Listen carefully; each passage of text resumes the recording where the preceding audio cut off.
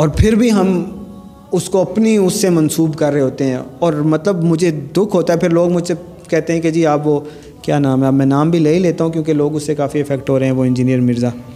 कि आप उसकी क्यों मुखालफत करते हैं? मैं उसकी क्या मुखालफत करनी है? लेकिन वो कुछ ऐसी बात कर जाता है, एक तो उसके अंदर ये तकबुल की बात करता है, दूसरा, अगर आप कुरान, हदीस पढ़ा रहे हैं, अल्लाह से चीज़ों को मनसूब करें और उसका मफहम समझ के करें, अपनी तरफ़ ना बुलाएँ, अल्लाह की तरफ़ बुलाएँ। अब उसने क्या कहा था? उसने कहा था कि जी, ये कोई नहीं है, ये डैम नहीं बनाए थे, इस वजह से आए। तो ये अल्लाह का कुरान है, ये क्या कह रहा है? आप कौन सा फिर दीन पढ़ा रहे हो? डीम, डैम बनाने की अल्लाह ने आपको तोफ़ी ही नहीं दी। अल्लाह ने आपस में लड़ा दिया, अल्लाह ताला ने रिसोर्स ही पूरे नहीं किए, अल्लाह ताला ने आपके हुक्मरान आपके ऊपर ऐसे मुसलत करा दिए कि आप डैम बना ही नहीं सके। वमा सौबकुम भी मुसीबत इन फबिमा का सबत ईदी को कोई मुसीबत नहीं आती, खुद कमाते हो। कसब क्या होता है? कसब होता है जो मजदूर मजदूरी करके लाता है। कि वो ईंटें लगाएगा, इतने रद्दे लगाओगे, इतने घंटे काम करोगे, इतने घंटे धूप गर्मी में, पसीने में करोगे तो तुम्हें इतनी मजदूरी मिलेगी। ये होता है कसब। फबिमा कसबत ईदीकुम मुसीबत तुम कमाते हो। कुरान कह रहा है, कोई भी मुसीबत है, वो तुम कमाते हो।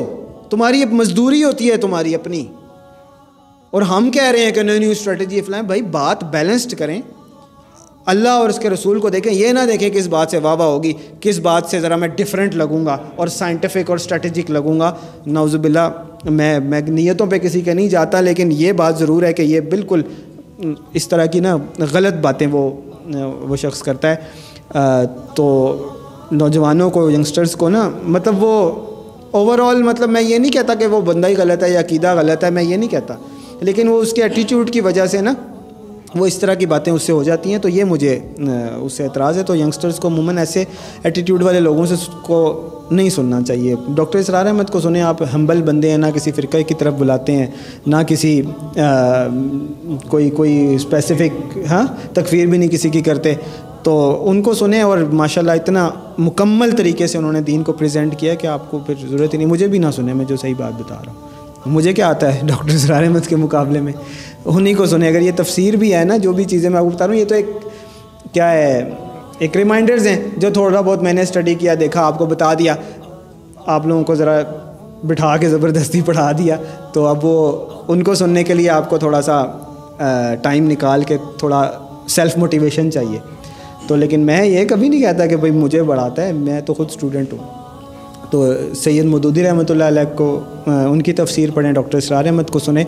तमाम टॉपिक्स आपके कवर हो जाएँगे, ज़रूरत ही नहीं है इधर उधर इन चीज़ों में पढ़ने की। खैर तो फ़ाकबल अब क्या हुआ कि कौल सुबहान रबिना इन्ना कुन्ना बालमीन उन्हें पता चल गया कि हमसे ही गलती हुई है। फ़ाकबल अबादलाबादलामून अब उन्होंने क्या हुआ? अब रियलाइज़ करने के बाद उन्होंने अपनी गलती रियलाइज़ करने के बाद अब वो क्या करते हैं? हैं? तूने ऐसे किया था, तूने ऐसे किया था, तूने हमें एक दूसरे को वो मलामत करने लगे। कौलू, या वही लना इन्ना कुन्ना तोगीन। तो फिर वो जैसे नहीं होता, हाय तबाही हमारी, वो जैसे अफसोस, मातम वाली सिचुएशन हाय हमारी तबाही, कौलू, या वही लना हाय हमारी तबाही, ये क्या हो गया? मातम वाली सिचुएशन इन्ना कुन्ना तोगीन। रियलाइज़ कर रहे हैं, ये भी बहुत बड़ी बात है। इन्ना कुन्ना तोगीन, हमने तो अल्लाह ताला के साथ बगावत कर दी, अल्लाह ताला के साथ गुस्ताखी कर दी, अल्लाह ताला की नाफरमानी कर दी। तोगीन बगावत होती है ना, हमने अल्लाह की बगावत कर दी, वो रियलाइज़ करने लगे। आसा रबना खैरम मिनहा, इन्ना इला रबिना रागिबून।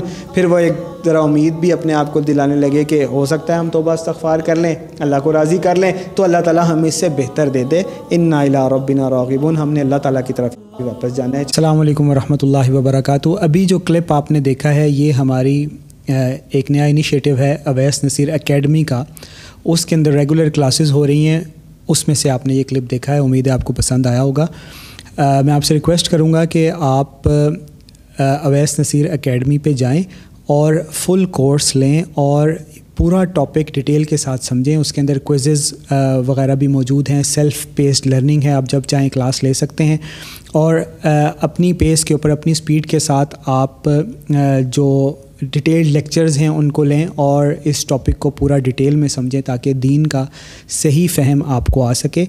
आपने जाना है Awais Naseer dot com slash academy के ऊपर। Awais Naseer dot com slash academy यहाँ पर आप जाएँ, यहाँ पर कोर्सेज सारे पड़े हुए हैं। और ये जो कोर्सेज़ हैं, ये बिल्कुल फ्री हैं, इनकी कोई कॉस्ट नहीं है। इनको कोर्सेज़ की फॉर्म में पब्लिश करने का मकसद ये है कि जो लोग अल्लाह ताला ने जो हमसे ख़िताब फरमाया है, जो चीज़ें हमें बयान फरमाई हैं और जो चीज़ें हमें सीखनी चाहिए, उनको एक डिटेल्ड ऑर्गेनाइज्ड वे में प्रेजेंट किया जा सके। और आप एक पूरे टॉपिक को डिटेल के साथ समझ सकें, इसलिए इनको कोर्सेज़ के फॉर्म में पब्लिश किया गया है। अदरवाइज़ सारा कंटेंट बिल्कुल फ्री है। उम्मीद करता हूँ आपसे मुलाकात होगी अवैस नसीर अकेडमी पे।